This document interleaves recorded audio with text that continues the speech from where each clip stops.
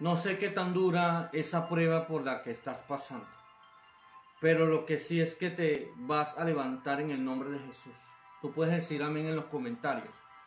Vuelvo y repito, no sé qué tan dura esa prueba que estás pasando, pero lo que sí es que te vas a levantar en el nombre de Jesús y en los comentarios yo digo amén, sí Señor. Todos y cada uno en la vida pasamos por diferentes dificultades, vicisitudes encontradas y ellas nos encuentran a, nosotros también.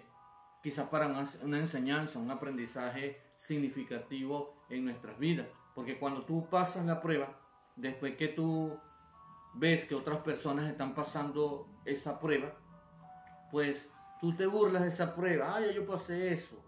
Eh, lo que yo hice fue esto, esto y esto. Dios te da la solución. Entonces, ¿qué aprendimos en esa prueba? A que podemos ayudar a las otras personas a sobreponerse, a sobrepasar esa prueba.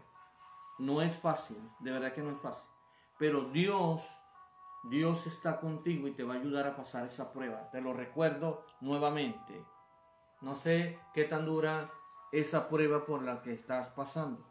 Pero lo que sí es que te vas a levantar en el nombre de Jesús.